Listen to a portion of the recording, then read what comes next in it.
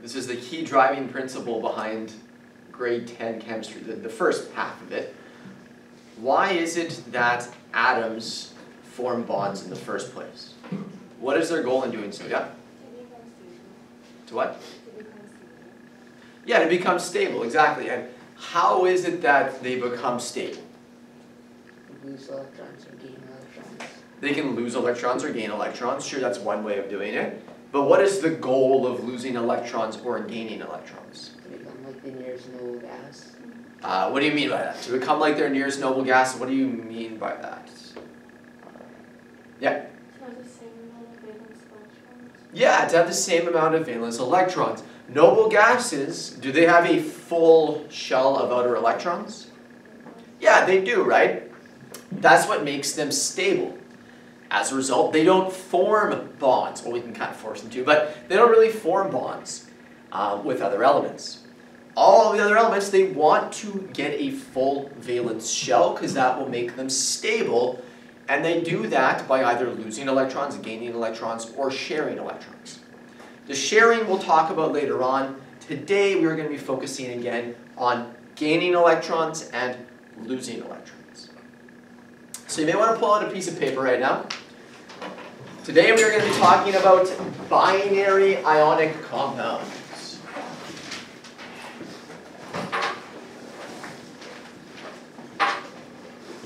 Binary ionic compounds.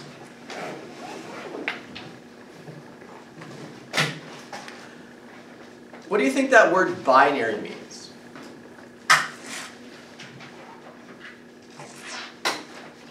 Bi. What does bi mean? Binary. What's that? Yeah, you're right, Gary. Yeah, it's two. Right? So, binary here, we're going to be talking about compounds consisting of two atoms.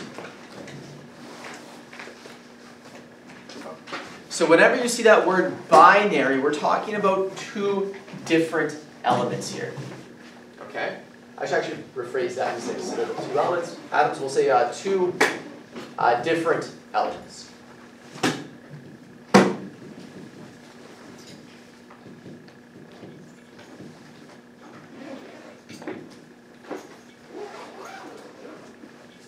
Now, looking on your periodic table, which elements will form positively charged ions, will form cations?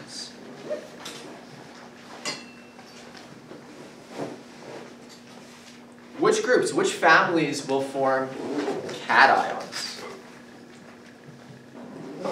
Yep, Victoria? The alkali metals is one group for sure, right? They have one electron, they want to lose that electron and get a full shell. They'll become positive. What else? Yep.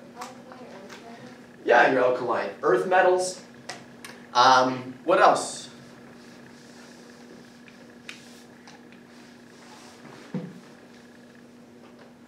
What about, uh, say, aluminum? What does aluminum want to do? How many valence electrons does aluminum have? How many? Three. So what does it want to do? Lose three or gain five? It wants to lose three. So your cations, would you say that they are metals? Yes, right? So when we're talking about binary ionic compounds, um, this is going to be um, between a metal, which is going to be your cation,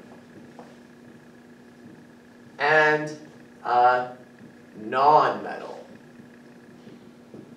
And this is going to be your anion.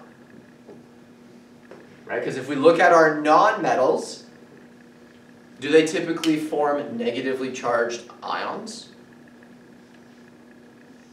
They do, right? If you look at the halogens, what charge do they take on when they form an ionic bond?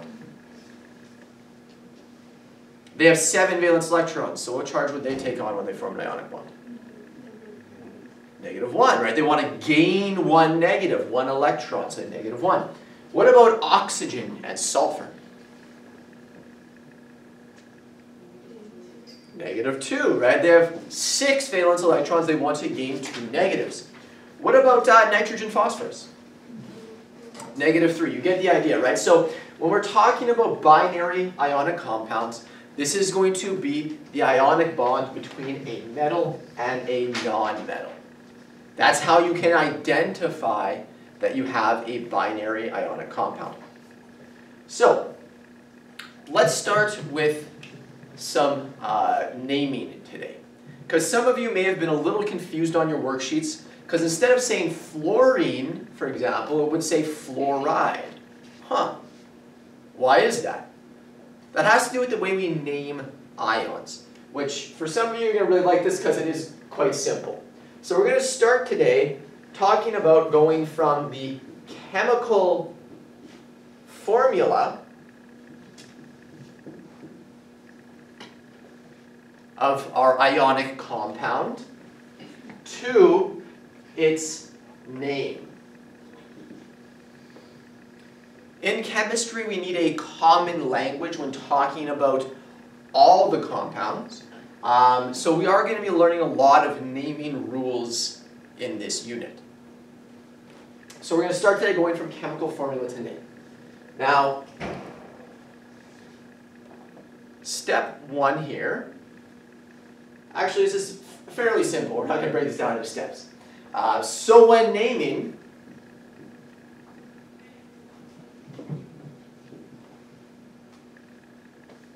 list the cation first. And most of the time you don't really need to think about this because when you write your chemical formulas, you will always write the cation first. Right? When I was writing out table salt, how did I write it? Did I write it NaCl or ClNa? NaCl, right? The cation always comes first. So list the cation first, and do not change its name.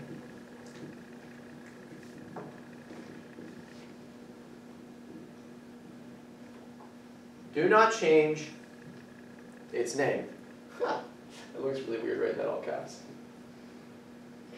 Now,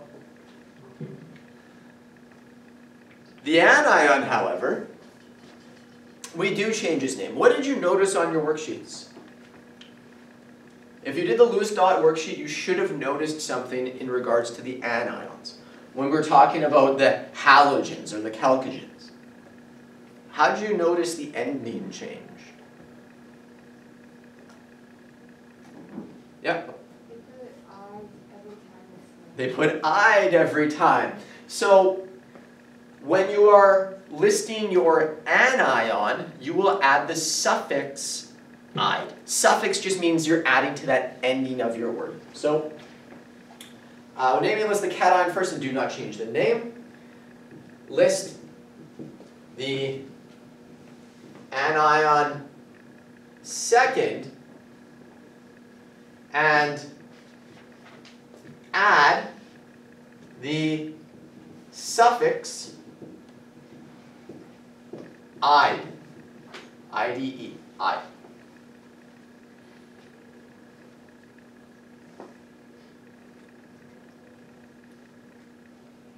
So let's go through a couple examples together.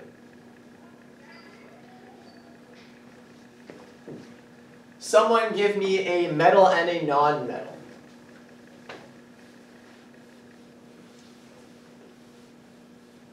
Someone give me a metal. I'm going to pick on random people here. Give me a metal. Um, magnesium. Sure, magnesium. Give me a non-metal, someone. Kenny, give me a non-metal. Um,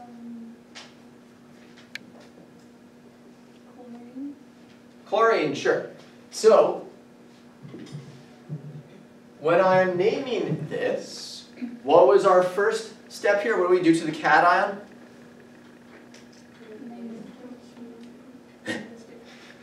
Nothing. You do nothing, right? We just list the name of our cation. So we have magnesium.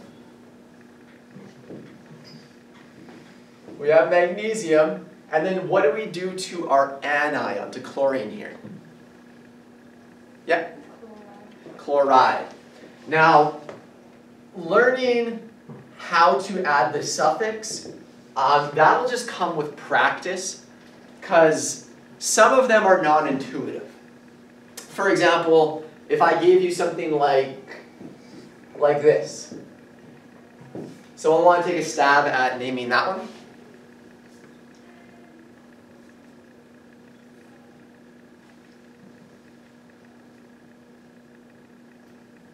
Well, what's the cation first of all? Aluminum. We do not change its name. And then what is the anion here? It's iodine. How do we add the suffix though? What do you think it'll become? This will come with practice. It's a little non-intuitive. It's aluminum iodide. So since there are so few non-metals, you'll just kind of get used to um, adding the suffixes as long as you do enough practice. So what's another one? So it's not iodinide, it's iodide. Another good example would be something like, uh, let's say B E O. Wh- What's B E O? What's the B E part? Beryllium? Well, I shouldn't picked beryllium, now I have to spell it. It is two L's, okay. Beryllium and O? Ah, excellent. Oxide. A lot of students, when they first learn this, they'll try to put oxenide or something like that. Um, it is just oxide. So you will get used to those suffixes. You know, it's fluoride, chloride, bromide, iodide, oxide, sulfide, selenide, uh, nitride, phosphide. And those are the ones we're going to be using this semester. Okay, so now comes for the, the meat and potatoes today, the hard part. Um, going from name to chemical formula. This is where students struggle. Naming's pretty easy.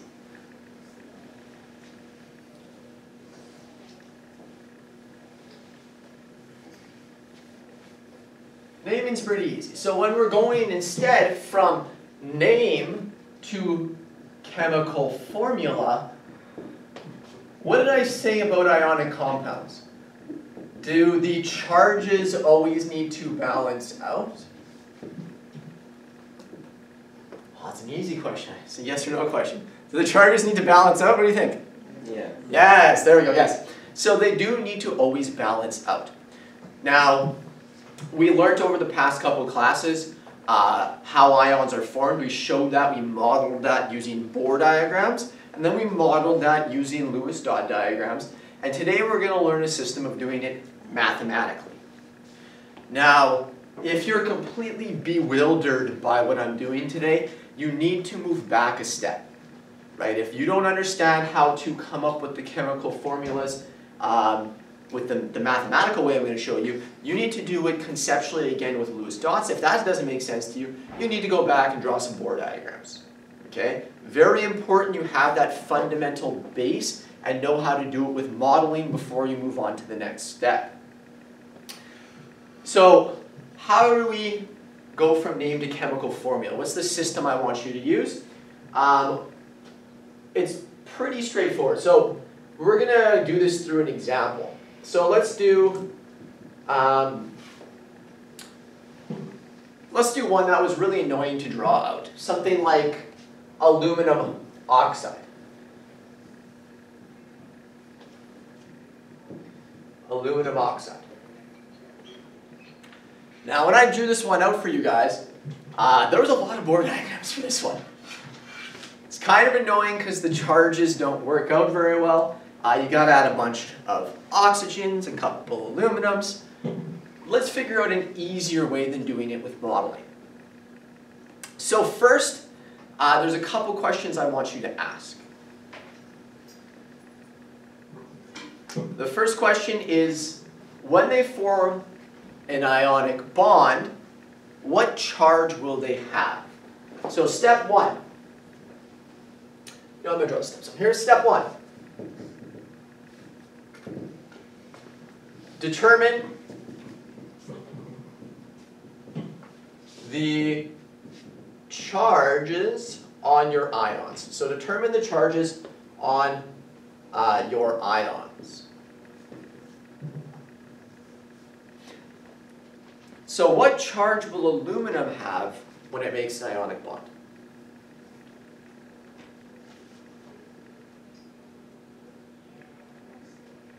You always got to think, well, how many valence electrons does it have? Three. So then what will the charge be? Positive, Excellent. Positive what? positive one. Not positive one. It has three valence, so does it want to lose three electrons or gain five?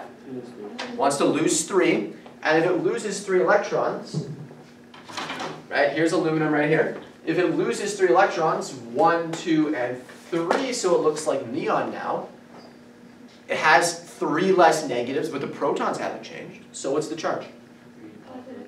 Ah, there we go, three plus. So we have Al3 plus. What about oxygen?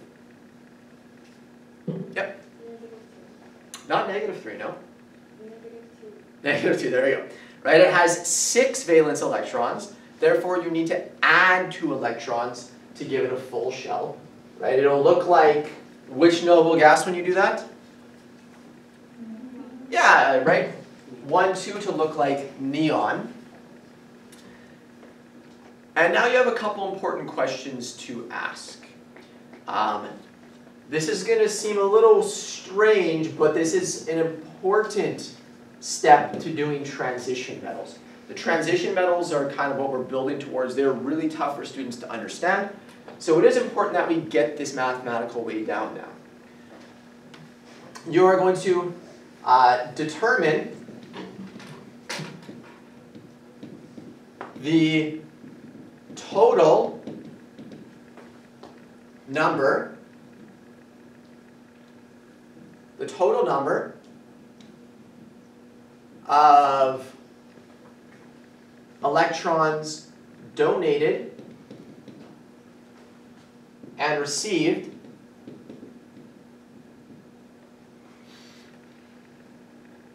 by using the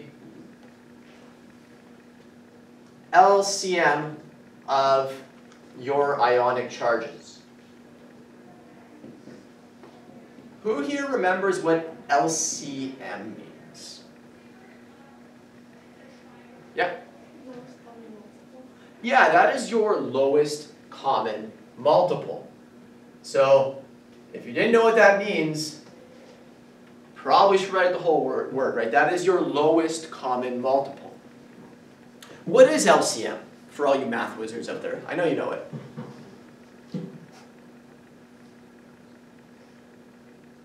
So the lowest common multiple is the lowest multiple that both of your numbers share. So for example, let's say I gave you the numbers 3 and 5.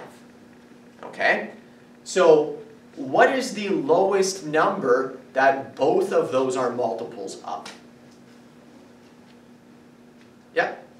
Excellent, 15. Now, all you have to do is you have to ask, okay, well, what are the multiples of 3? That's 3, 6, 9, 12, 15.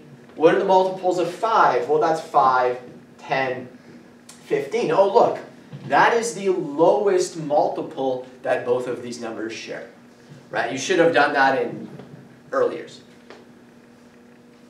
Any questions about that? We're going to be working with really simple multiples though, because our charges never really get that big. Okay? So really, really simple multiples here.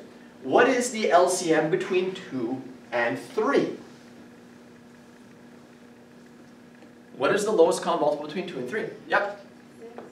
Yeah, it's 6, right? So in total, there will be 6 electrons donated, and in total, there will be 6 electrons received.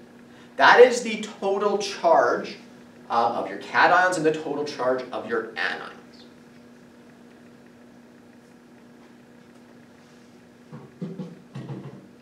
Okay, so this is your total charge. Step three,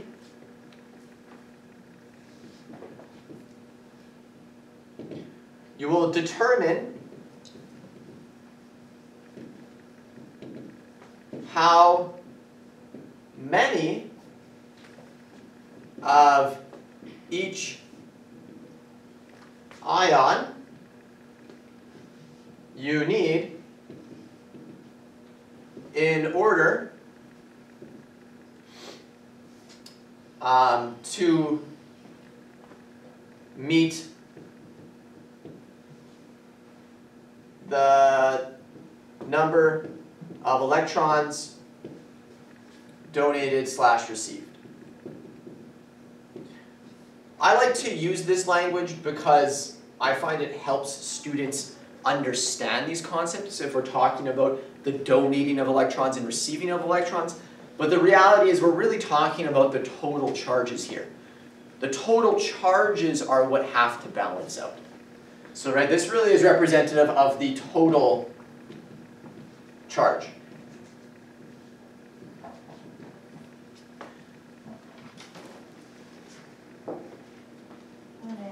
Good morning. So, then how many of each of our ions do we need? How many of each of our ions do we need here?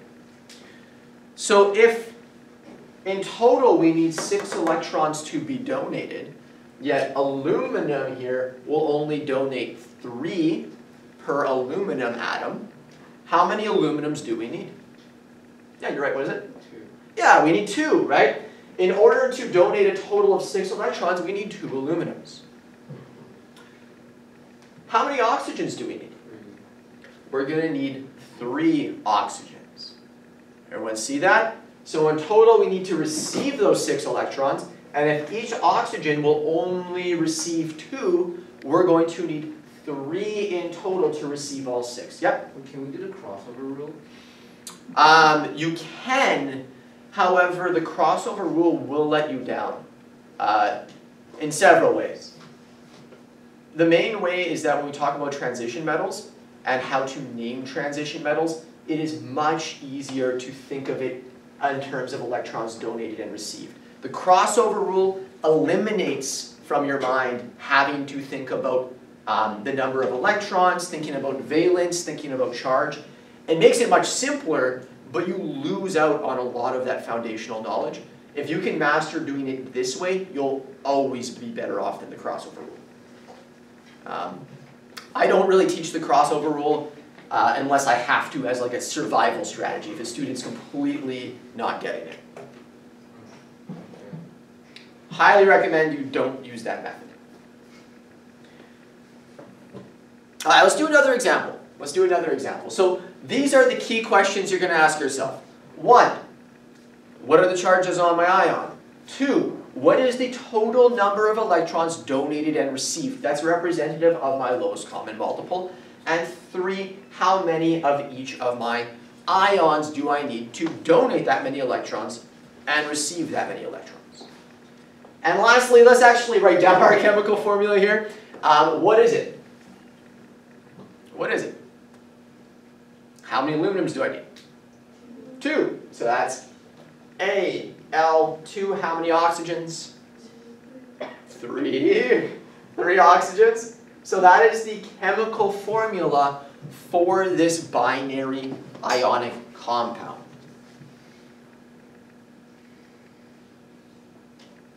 Uh, that's the chemical formula for this binary ionic compound. Let's do another example. Let's do, hmm, let's see. Let's do sodium nitride.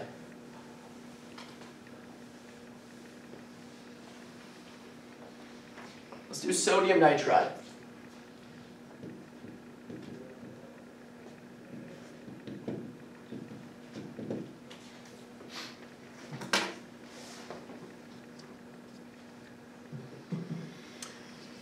So what is step one? What do we need to figure out?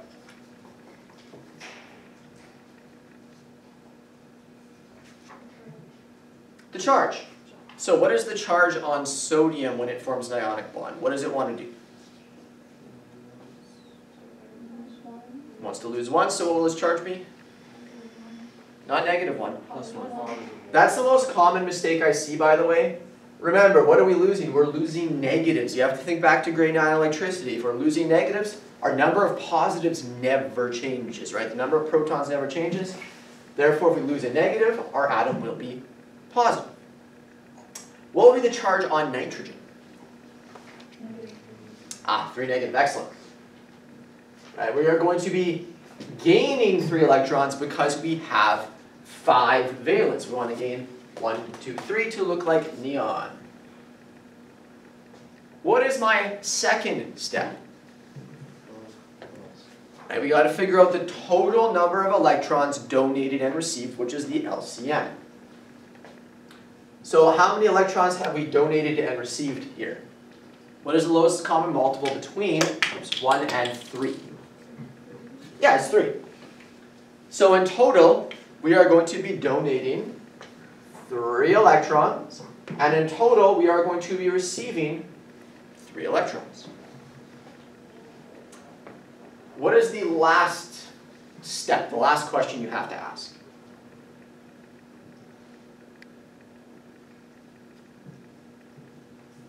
Yep. Yeah, you have to figure out how many of each ion you need. So, if we have to donate three electrons, how many sodium atoms am I going to need to donate those three? Yeah, you're going to need three because each one is only going to donate one electron. How many nitrogens am I going to need? One, excellent. Right? If one nitrogen will receive three electrons, and we only need to receive three electrons, well, the answer is one. So what is our compound going to be? What is our compound going to be?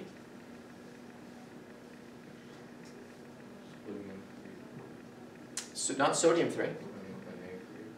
Yeah, there you go. Na3 and 1. Now, what did I say about ones in chemistry? We don't write them down. Yeah, chemists are lazy. We don't write down ones. So whenever you see a blank space beside an atom, that means 1.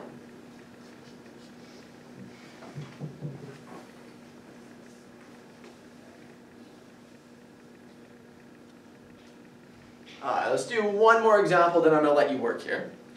Um, let's do, uh, let's say calcium oxide. Calcium oxide. Let's go through those three steps again. Step one. What do we need to do? Find the charges on our ions. What charge will calcium have? Negative four. Nope.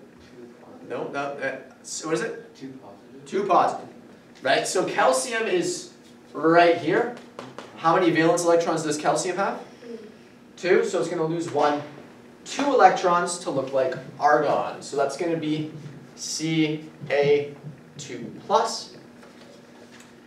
And oxygen, Negative yeah, we already, we've already done it, right? Uh, two negative. What is the total number of electrons donated and received here? What is the lowest common multiple? Two. Yeah, it's two, right? The lowest common multiple between two is two. Um, so it's going to be two donated and two received. And as a result, how many of each ion will we need in our bond? Yep, one. Of each. One calcium, one oxygen. Is everyone in agreement? Excellent. We're going to need one calcium because we're only donating two and calcium will donate two. And we need only one oxygen because we're receiving two electrons and oxygen can receive two. So what is our formula going to be for our compound? Just CaO. So it's going to be calcium oxide, just like that. Okay, I know that this method here may be a little tedious, but trust me, with enough practice, you'll be able to do these in your head.